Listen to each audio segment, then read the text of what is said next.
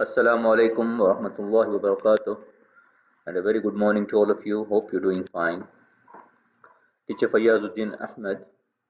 Today we are going to do some exercises in workbook from the lesson chapter 8, chapter 8 lesson number 1 Earth and Sun.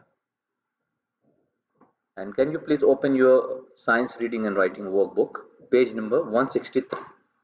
Page number 163. Earth and Sun. What causes day and night? Number 1. Earth completes one rotation on its axis every 24 hours. Earth completes one rotation on its axis every 24 hours. There are two blanks. The first one is axis. The second one is 24. Number next. As Earth rotates, the Sun appears to rise in the east and set in the west. As Earth rotates, the sun appears to rise in the east and set in the west. These are the three blanks, rotates, east and west. Number next, the stars, moon and planets appear to move across the sky each night because of Earth's rotation. Because of the Earth's rotation. The blank is rotation. Number next, at dawn and dusk, shadows are long and at midday they are short. This we discussed in our uh, lesson, the last session. In the morning, early morning and in the late in the evenings. So we saw the long shadows and in the midday the shadows are short. At dawn and dusk the shadows are long and at midday they are short. So two blanks. The, in the first blank can write long and in second blank you can write short. What causes seasons? What causes seasons? Each year earth completes one revolution around the sun. Each year earth completes one revolution around the sun. So this is the answer. Revolution is the answer. Number next. In June the north pole is tilted towards the sun so sunlight hits the northern hemisphere at a steeper angle.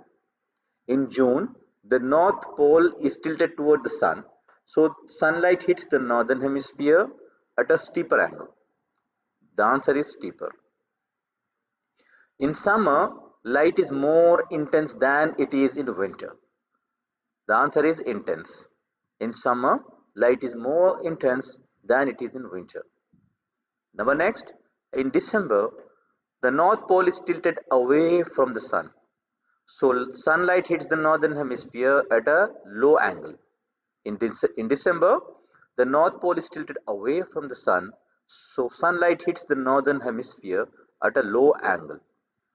So answers for these two blanks, the first one is away from and the second one is low. These are the answers. Number next, when it is winter in the northern hemisphere, it is summer in the southern hemisphere. The answer is summer. When it is winter in the northern hemisphere, it is summer in the southern hemisphere. How does the sun's apparent path change over the seasons? Number 10. In northern Alaska, summer nights are short, but during winter the sun hardly appears. In northern Alaska, summer nights are short, but during winter the sun hardly appears. So these two blanks are the first one is short, the next one is appears. These are the two answers. Number next, the sun rises higher in the sky in summer than it does in winter. The sun rises higher in the sky in summer than it does in winter. The answer is higher. Number 12. Near the equator, the sun's apparent path changes less during the year than at higher latitudes. Near the equator, the sun's apparent path changes less during the year than at higher latitudes. The answer is less. The sun's path repeats itself every year, so it is possible to predict the time the sun will rise and set. The sun's path repeats itself every year, so it is possible to predict the time the sun will rise and set. These are the two answers. The first blank is rise, the second one is set. So we saw the differences in the sun's apparent path during different seasons.